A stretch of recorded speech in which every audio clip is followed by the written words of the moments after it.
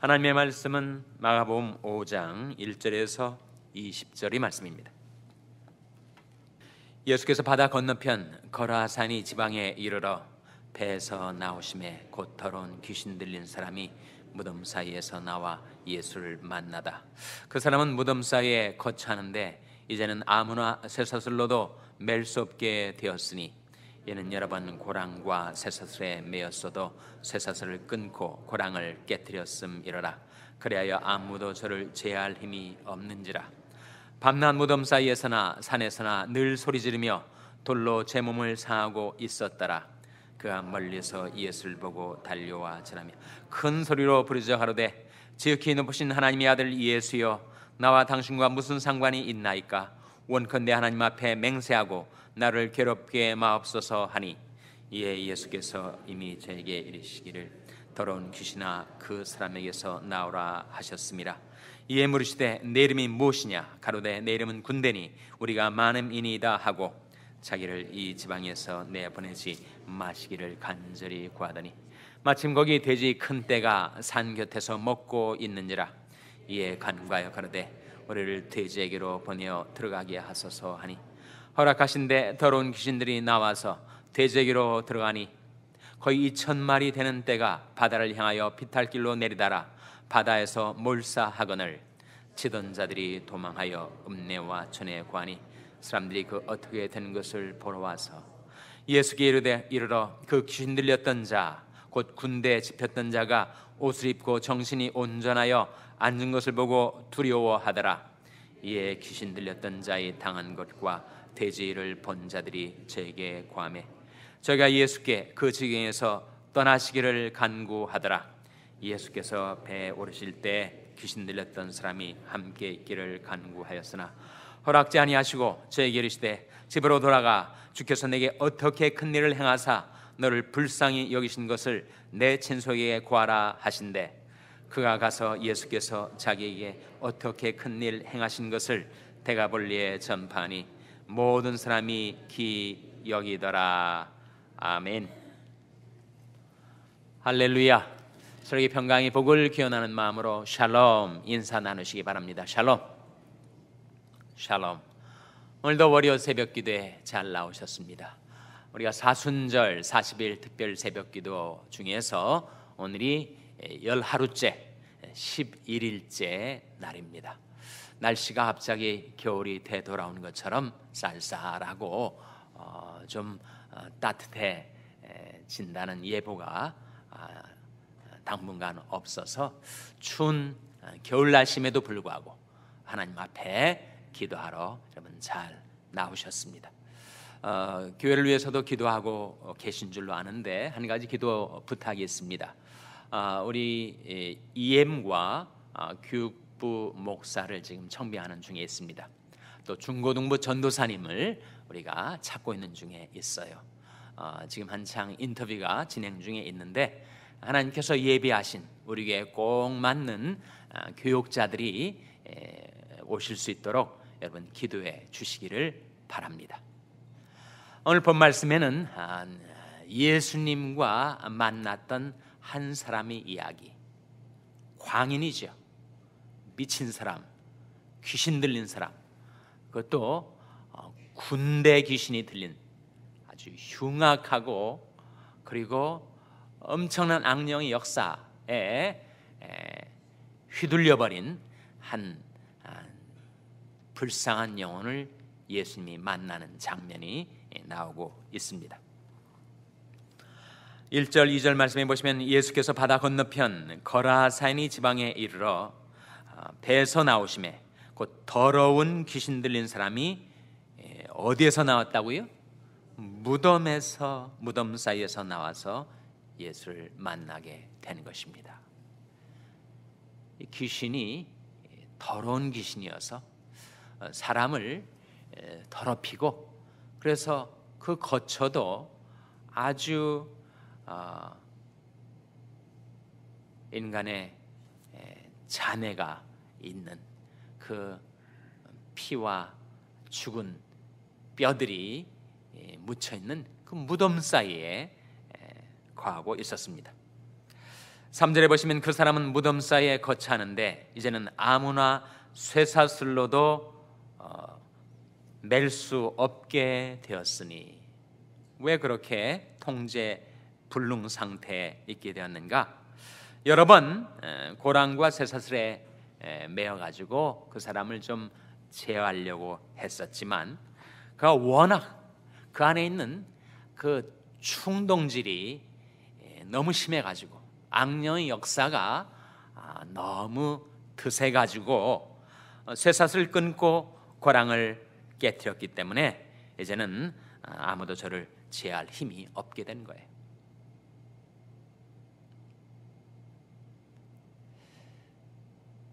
이 사람이 보여주는 모습이 하나님을 떠나 방황하는 죄에 매여 고달픈 삶을 살아가는 우리 인생의 모습이라 하는 거예요. 예수님께서 죄를 범하는 자마다 죄 무엇이라 하셨습니까? 죄의 종이라. 생명의 근원 되신 하나님께로부터 떠나서 죄의 종이 되어 살아가는 사람들. 많은 사람들은 자신의 실상, 자신의 심각한 상태를 깨닫지 못합니다. 아니 내가 건전한 사회인이고 가정을 이루고 내가 예수 안 믿는 것 아, 하나밖에 다를 바 없이 모든 것이 정상적인 삶을 살아가는데 나한테 무슨 죄의 종이라고 하느냐? 기분 나쁘다. 그 상태가 아, 증상이 아직 두드러지게 나타나지 않아서 뿐이지. 그럼 그것이 심각해지면 아, 온갖 중독 아, 상태가 드러나지 않습니까? 알코올 중독, 도박 중독, 성 중독, 마약 중독. 그 중독 상태가 되면 꼭 이 사람의 상태가 돼 버리는 거예요. 그 무엇으로도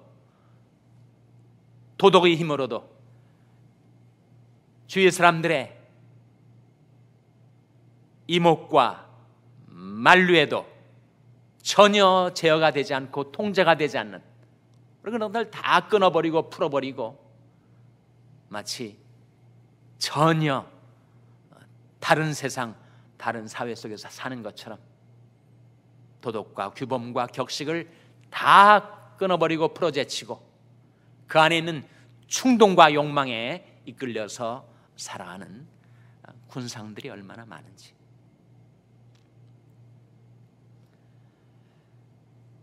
오절 말씀해 보시면 밤낮 무덤 사이에서나 산에서 늘 소리 지르며 그 괴로움, 그 알 수 없는 슬픔, 그 고통 속에서 어, 울부짖고 있단 말이죠. 뿐만 아니라 자해 행위를 하고 있습니다. 돌로 제 몸을 상하고 있었더라.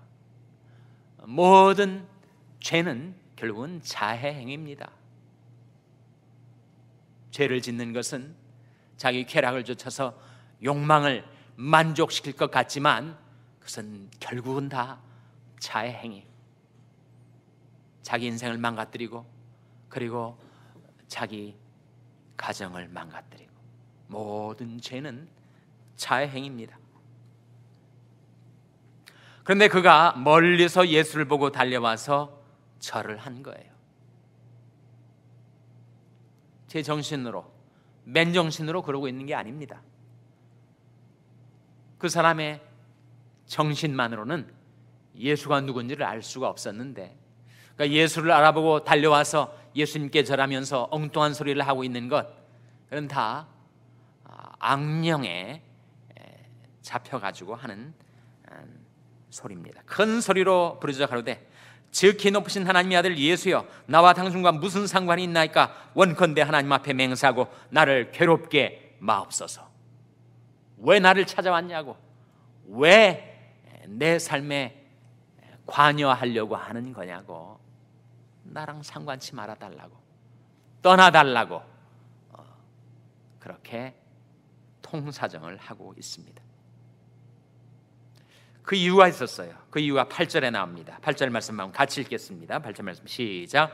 이는 예수께서 이미 저에게 이르시기를 더러운 귀신아 그 사람에게서 나오라 하셨습니다. 예수님께서 더러운 귀신아 그 사람에게서 나오라 하고 말씀하신 시점이 언제일까요? 시점이 이 사람이 예수님을 만나서 절하고 통사정을 하는 그 시, 시점입니까? 아니면 그 이전 시점입니까? 여기에 이미라는 부사가 그 시점을 예고해 주고 있지만 원문과 영어 성경은 더 명확하게 지금 예수님과 맞닥뜨린 그 시점이 아닌 대과거로 나타납니다. 훨씬 이전에 예수님께서 무덤 사이에서 울부짖고 자해 행위를 하고 있는 이 불쌍한 사람을 예수님 먼저 아시고 그를 괴롭히는 이 더러운 귀신아 그에게서 나오라고 주님이 명하셨다는 거예요. 이 사람이 주님을 만나기 전에 주님은 그 사람을 먼저 아신 거죠. 우리도 그렇지 않습니까? 우리가 예수를 만날 바로 그때 여러분이 유년 시절이든 청년 시절이든 장년 시절이든 예수님이 예수 믿었을 때 그때 예수님 만난 거 아니에요? 그때 예수님도 어, 비로소 처음 나를 만난 것인가? 내가 예수님을 만나 예수님을 알게 되었을 때 그때 예수님도 처음 나를 아신 것인가? 성경은 뭐라고 말씀합니까? 내가 어미 태에서 나옴으로부터 나를 아신 하나님. 그때는 처음 아셨는가? 내 어머니의 못해서 나를 조직하실 때 나를 아신 하나님. 그 신묘 막측하신 능력으로 나를 못해서 조직하시기 전에 아셨던 하나님. 에베소 1장은 창세전에 나를 아셨던 하나님. 그러니까 우리가 어, 자녀를 키우고 또 손주들을 키울 때 저도 하나님의 은혜로 어, 예쁜 손녀딸을 선물로 받았는데 참 제가 엉뚱한 자랑을 하고 있는 걸 좀 양해해 주시기 바랍니다. 그 아이를 이렇게 안고 나서 저, 저를 물끄러미 쳐다봐요. 누군가 어떤 인간이 자기를 안고 있는가 쳐다봐요. 그럼 저는 또 좀 각인시키려고 할아버지다, 할아버지다 이렇게 얘기를 합니다. 걔, 걔는 제가 누군지를 알게 되는 것은 앞으로 좀 더 시간이 지나야 알죠. 근데 걔가 저를 알아볼 그때 제가 처음 그 아이를 알게 된 건가? 그렇지 않지 않습니까? 벌써 저는 그 아이를 알고 있고 그 아이가 태어나면서부터 태어난 첫날 저는 그를 보았고 또 그 아이가 생겨나기 전에 제 아빠 엄마가 어떻게 만났는지 멕시코에서 만났는지 또 어떻게 그 전에 싱글로 살다가 그렇게 우연치 않게 만났는지 저는 다 내력을 알아요. 그러니까 이 아이의 출생의 비밀을 저는 알고 있습니다. 그러나 그 아이는 저를 몰라요. 저를 알게 되는 것은 나중에 철이 들어가지고 한참 있다가 뒤늦게 알게 되겠죠. 마찬가지 아닙니까? 우리가 예수를 만나 예수를 알게 된 그날 예수님은 처음 나를 아신 것이 아니었단 말입니다. 그 이전부터 이미 우리를 알고 계세요. 그리고 어느 날그 아, 시점 그 상황에서 내가 이제는 더 이상 예수님을 회피해 갈 수 없는 그 순간에 나를 맞닥뜨리시고 나와 조우하셔서 내 모든 죄 결박 다 끊어주시고 풀어주시고 나를 자유케 하시고 죄에 휘둘려 살고 있던 저를 맨정신으로 건전한 정신으로 돌아오게 하시고 자회 행위를 중단하게 하시고 이제는 주님 앞에 살게 해 주신 것. 이 광인이 예수를 만나기 전에 이미 주님은 그를 불쌍히 여기셔서 그를 구원하시려고 주님의 말씀을 보내신 것입니다. 이 더러운 귀신아, 그에게서 나오라. 아, 그 영혼을 구원하시기 위하여 주님의 말씀을 바라신 것이었습니다. 이사야 55장 11절 말씀에 내 입에서 나가는 말도 헛되이 내게로 돌아오지 아니하고 나의 뜻을 이루며 나의 명하여 보낸 일에 형통하리라. 주님께서 그 사람에게 그렇게 말씀을 하셨어요. 그러면서 어, 이제는 차분하게 질문을 하시기를 내 이름이 무엇이냐? 내 이름은 군대니 우리가 많음이니이다. 그리고 우리를 이 지방에서부터 떠나지 말게 해달라고 어, 간절히 구하였습니다. 근데 마침 거기에 돼지 큰 떼가 아, 산 곁에서 먹고 있었어요.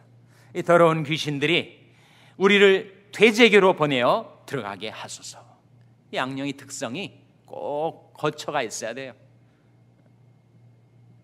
사람 아니든 아니면 짐승 아니든 그 살 집을 찾아 헤매입니다. 네, 예수님께서 허락을 하셨어요. 그러자 더러운 귀신들이 나와서 대제교로 들어가니 거의 몇 마리가 된다고요? 2천 마리. 2천 마리 돼지 때에 그 악령들 군대 귀신들이 들어가니 그 돼지들이 비탈길로 어, 내리다른 것입니다. 그래서 바다에 전부 빠져서 몰사하게 된 거예요. 돼지를 채던 자들이 도망해서 읍내와 촌에 들어가서 어, 그 사건을 알린 겁니다. 그래서 사람들이 무슨 이런 희한한 일들이 벌어진다는 말인가 해가지고 그 사건이 벌어진 현장으로 찾아온 거예요. 15절에 예수께 이르러 그 귀신 들렸던 자, 곧 군대 집했던 자가 옷을 입고 정신이 온전하여 앉은 것을 보고 두려워했습니다. 어떻게 이런 아, 듣도 보도 못한 사건이 벌어지는가? 이에 귀신 들렸던 자의 당한 것과 돼지 이를 본 자들이 저에게 구함에 저희가 예수께 그 적용에서 떠나시기를 간구하더라.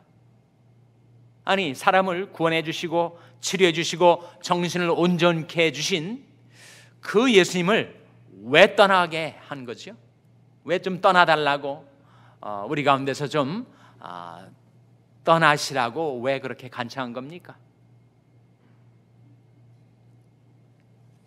그들은 예수님이 자기들 가운데 행하시면서 또 유사한 일들을 일으키실 것을 두려워하는 거죠.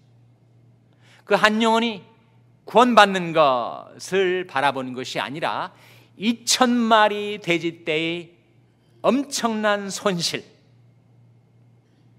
자기들의 평상적이고 일상적인 삶에 심각한 변동을 초래한 이 주인공이 거북살스러웠던 것입니다.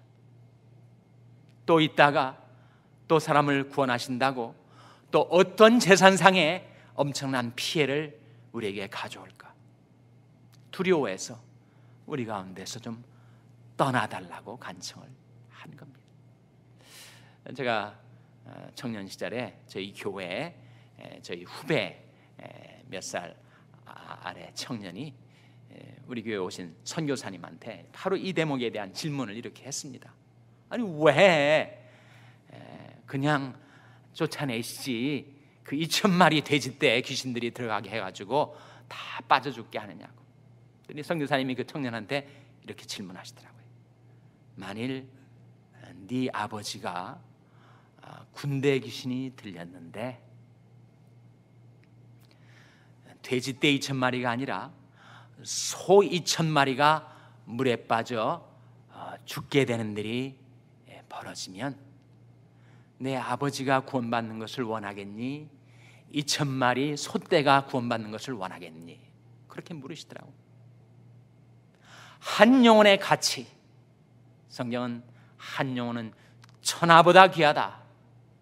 사람이 온 천하를 얻고도 제 목숨을 잃으면 그것이 무슨 소용이 있겠느냐? 하는 예수님의 말씀을 우리에게 들려주고 있지 않습니까? 예수님께서 계속 예수님과 함께 있기를 원하는 그 사람을 돌려보내십니다. 하시는 말씀이 19절 말씀 같이 읽겠습니다. 시작.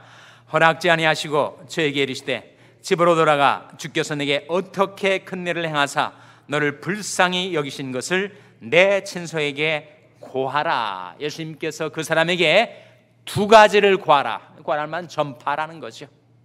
예전은 내가 고침받고 어, 구원받았으니 앞으로 이것 하면서 살아가라. 두 가지. 첫째는 뭡니까? 주께서 내게 어떻게 큰 일을 행하사 능력이죠. 주님의 능력입니다. 두 번째는 뭡니까? 너를 불쌍히 여기신 것을 주님의 긍휼입니다. 우리가 예수 만나 하나님의 은혜로 예수님의 사랑으로 구원받은 후에 우리가 해야 할 두 가지. 그것은 바로 주님의 능력과 주님의 긍휼을 전파하는 것. 지금도 죄에 매여서 비참한 인생을 살아가는 자들에게 예수를 전해서 예수님의 능력으로 그들이 고침받고 구원받고 그리고 예수님의 긍휼, 예수님의 사랑, 예수님의 은혜를 입어 살아가게 하는 것. 우리가 어떤 병자를 위해서 어, 기도할 때도 사실은 이 두 동기, 이 두 가지 이유입니다. 주님, 주님께서 어떤 불치병도 고칠 수 있는 능력이 있으신 것과 주님께서 그를 긍휼히 여기신 것을 나타내 주시옵소서. 그래서 우리가 중보기도 하고 어, 병자를 위해서 기도하는 거 아니에요? 예수님께서 아, 그 정신이 온전된 자에게 그 두 가지를 당부하십니다. 주께서 내게 어떻게 큰 일을 행하신 것인가? 주님의 치유와 구원의 능력이 얼마나 크신지 그리고 나 같은 죄인에게도 긍휼을 베푸셔서 나를 어떻게 불쌍히 여기셨는가 이것을 전파하고 당부하고 계신 겁니다. 기도하시겠습니다. 오늘 말씀 기억하면 하나님 절도 예수를 만나 치료받고 구원받게 하여 주시옵소서. 기도하시기 바랍니다. 우리 자녀들 위해서 기도할 때 하나님 저희 자녀들을 괴롭히는 모든 악령의 역사를 주님께서 물리쳐 주시고 저희 자녀들이 예수를 만나 구원받게 하여 주시옵소서. 정신이 온전하여져서 주님 앞에서 살게 하여 주시옵소서. 기도하시기 바랍니다.